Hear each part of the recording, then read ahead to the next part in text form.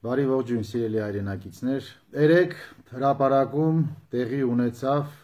մի զզվելի երևույթ։ Ուրեմն մի հատ Ռուսաստանից վերադարձած մի անասուն, որը ամբողջ 3 միլիոն հայությանը վիրավորեց։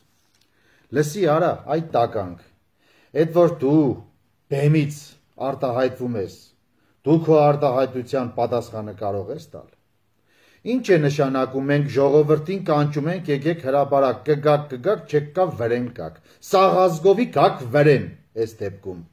արա այ տխմար այ մեդվեդևի անձնական օգտագործման մի անգամվա փուճիկ է դու ում ես վիրավորում դու այդքան կաս այ խրտվիլակ դե ժամանակին քեզ սիրել ենք հարգել ենք որպես կավենշիկ այսօր դու քեզ դրել ես մի հատ մեծ թրիկի տեղ Մյուս անգամ նման արտահայտություն անելուց առաջ երկար կմտածես։ Այլապես անցյալդ կհանեմ ջրի երես։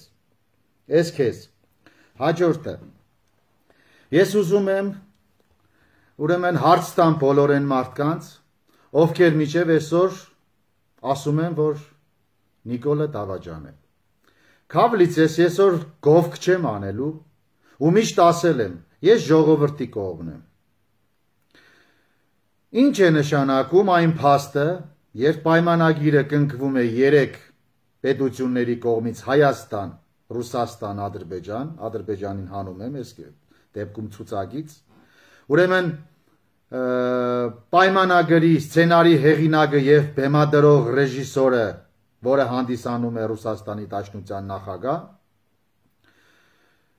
Մենք ասում ենք Նիկոլը Դավաճան է, սպասիբա Վլադիմիրу Պուտինու։ Մի հատ ինձ կբացատրեք այդ թեզը։ Մի հատ ինձ բացատրեք հասկանամ։ Այսինքն Պուտինը ճիշտ է արել, վարչապետը Նիկոլ Փաշինյանը Դավաճան է։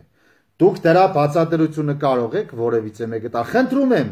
Եկեք բանավիճենք, եկեք բարձրացեք ամբիոն, չգիտեմ, յետեր վերցրեք եւ այդ մասին բացատրեք ժողովրդին, ինչ է նշանակում այդ արտահայտությունը։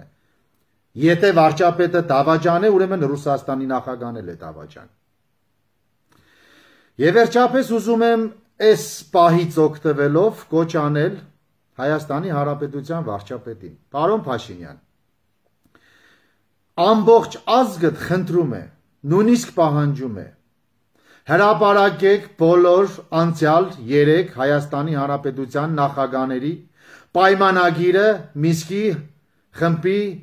համանախագաների կողմից ստորագրած պայմանագրի բոլոր կետերը, թող հանդրությանը բոլորը པարզ լինի։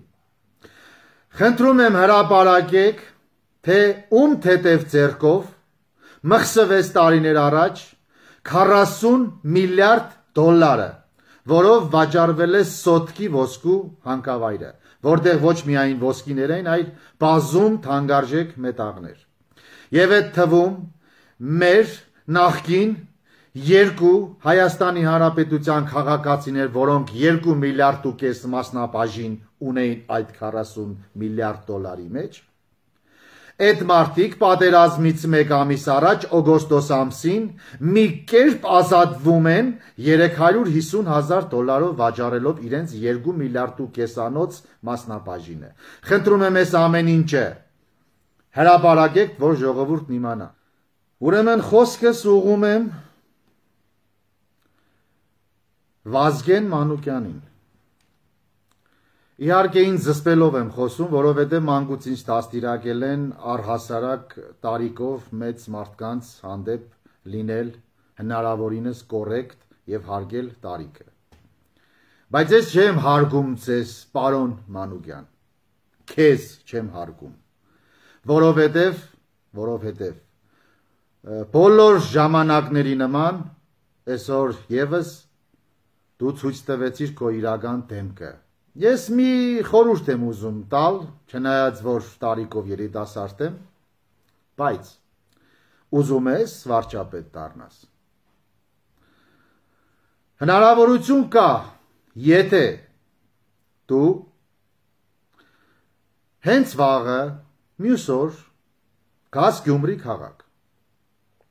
Նախ եւ առաջ դու պետք է գաս Գյումրի քաղաք, խոստանում եմ, բարձր մակարդակով պատշաճ դիմավորեմ կենտրոնական հրապարակում։ Եվ նույնիսկ պատրաստ եմ հյուրասիրելու։ Բայց ոդկով միասին քայլելու ենք հրապարակից միջև մոտակա սրճարանը կամ ռեստորանը։ Եվ ճանապարհին դու կհասկանաս, դու կարող կարող ես վարչապետ դառնալ թե ոչ։ Ցավոք չեմ կարող քո անվտանգությունը պաշտպանել, որովհետև հաստատ համոզված եմ, որ գյումրեցիները քեզ հրաապարակի մեջտեղը բզիկ-բզիկ են անելու։ Եթե այդքան ժող գործիկ կա վրայիցդ կախված տղամարդ ես, արի Գյումրի։ Արի կտեսնես դու վարչապետ կդառնաս թե չէ։ Այդ դուք ով եք տարել, որ ժողովրդի տեղը բան եք խոսում։ Դուք ով եք տարել, որ կարող եք մեր փոխարեն պահանջել մեր կամքը եւ մեր կամքին հակառակ ուզենակ գործողություններ անեք։ Հետույքներդ կտեսնեք եւ այդ ամենը չեք տեսնի։ Հայաստանի Հանրապետության քաղաքացին է որոշում կայացնելու իր կամքի դրսևորումը։ Սա մեկ ընդմիշտ գիտեցեք։ Եվ դուք չեք որոշողը մեր ճակատագիրը։ Ժողովուրդ կա։ Եվ վերջապես նախ դուք պետք կարողանաք Գյումրեցիների վրայով անցնեք հետո նոր հասնեք ձեր նպատակին։ Գյումրեցին հələ մեռած չի։ Ես Գյումրեցի եմ, խոսում եմ իմ անունից եւ վստահ եմ, որ իմ հետ համակարծիք են հազարավոր գյումրեցիներ։ Գյումրին Հայաստանի հայրաքաղաքն է։ Գյումրին մշակույթի մայրաքաղաքն է։ Գյումրին է տվել Հայաստանի ամենաշատ հերոսներին, սպորտսմեններին, մշակույթաբաններին եւ բոլոր մեծություններին։ Եվ Գյումրին պիտի որոշի իր ճակատագիրը։ Գյումրու փոխարեն ոչ մեկ իրավունք չունի։ Երբ որ այս ամեն ինչին կհասնեք, ուրեմն նաև կդառնաք վարչապետ։ Սա քեզ։ Ես ուզում եմ մեր Հայաստանի Հանրապետության քաղաքացիներին մեկ հարց տալ, որին ուշադրություն կարծում եմ այսքան ժամանակ ուշադրություն չեն դարձրել։ Բարգավաճ Հայաստան կուսակցությունն ունի, եթե չեմ սխալում, 28 падգամավոր։ Այսօր եւ 1-2 ամիս շարունակ հրաապարակում ես տեսնում եմ, եթե չեմ սխալում, 5 падգամավոր, ընդամենը 5-6 կամ 8, լավ, մաքսիմում։ Եվ այդ բոլոր 5-6 падգամավորները երբեք չեն ընդրվել ժողովրդի ցայնով։ Նրանք բոլորը միշտ հայտնվել են Բարգավաճ Հայաստան կուսակցության ցուցակի մեծամասնական ցուցակով առանց ընդրություններին մասնակցելու։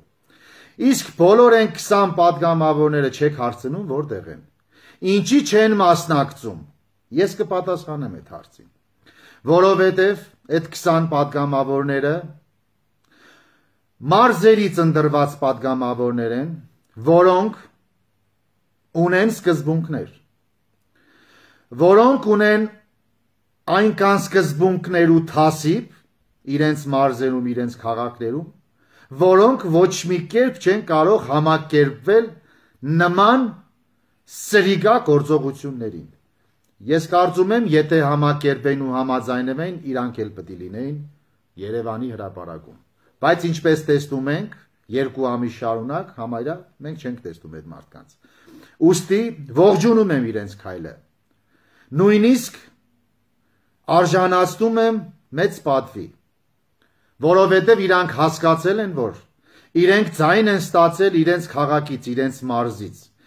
և կյանքը դեր շարունակվելու է, բոլորը մեկ է պատասխան են տալու իրենց արած քայլերի համար։ Ուզում եմ դիմեմ հրապարակում կանգնած բոլոր են մարդկանց, ովքեր նույնիսկ իրանք չգիտեն ինչի համար են հավաքվել, բայց մի բան գիտեն, որ իրենք վճարվում են կանգնելու համար։ Ես ամեն մանրուքին ուշադրություն եմ դարձնում։ Դարձնում եմ նաև, որ այնտեղ երիտասարդներ, կապիշոնները գլխներին քաշած, ուրեմն կեպիներով, դիմակներով, ագնոսներով, որբիսի չճանաչեն։ Դա էլ ենք հասկանում։ Նույնիսկ վանգարգողները 50-ից 5 հոգին են վանգարգում, ըստ երևույթ իրանց ավելի շատ են գումար վճարել եւ այնտեղ կանգնած ուրեմն այդ 17 կուսակցությունների լիդերները հրճվում են նույնիսկ նայում են թե ով ավելի շատ գոռաց, ով ավելի շատ արտահայտիչ բառեր օգտագործեց, որբիսի նրան մի 2-3 հազար դրամ ավել վարձատրեն։ Ես ուզում եմ ձեզ մի հարց տալ։ Դուք եք եք իմ քաղաքացիները, ձեզ էլ եմ սիրում հարգում։ Նույնիսկ պատրաստ եմ ձեր համար զոհվելու։ Բայց ուզում եմ հարգելիներս, մի հատ հարց տանք ինքներս մեզ։ Ինչ ենք ուզում մենք։ Ուզում ենք արժանապատիվ երգիր, բայց փող վերցնենք։ Ուզում ենք արժանապատիվ բանակ հաղթանակող, բայց չգնանք ծառայենք։ Ուզում ենք ամեն ինչ ունենանք, բայց չյենտարկվենք օրենքին։ Լավ, դուք որ այդ գումարը վերցնում եք, երեկոյան գնում եք տուն։ Ձեր ընտանիքի հանդամների աչքերին դուք ո՞նց եք նայում։ Ինչ է ձեր երեխեն, որ վազում է ձեր դեմը, թռնում է ձեր գիրկը։ Դուք այդ պահին ված չեք զգում, որ այդ երեխու ապակա կյանքն եք դուք խորտակում ձեր այդ գործողությունով։ Թե մտածում եք, որ հա դե իմ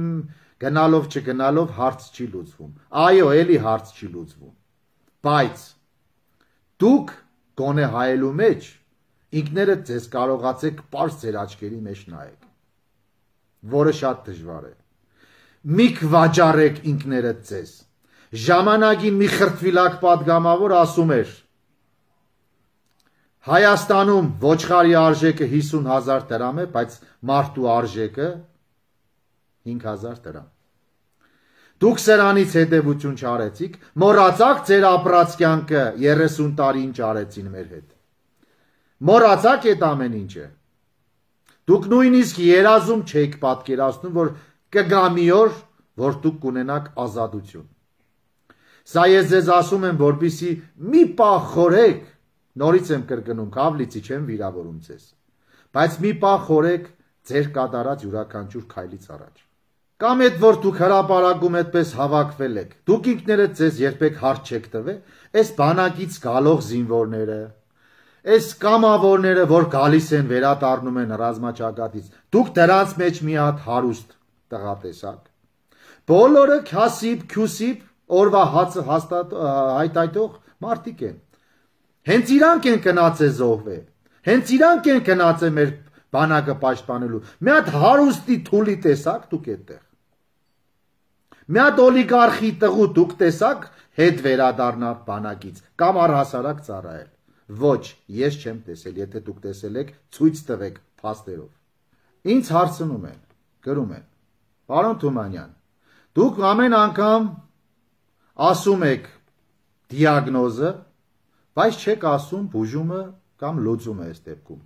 Ինչ պետք է հանել, որ Հայաստանի Հանրապետությունը դուրս գա այս իրավիճակից։ Ուրեմն ես ունեմ 5 կետից բաղկացած ճանապարհային քարտեզ, որը 100%-ով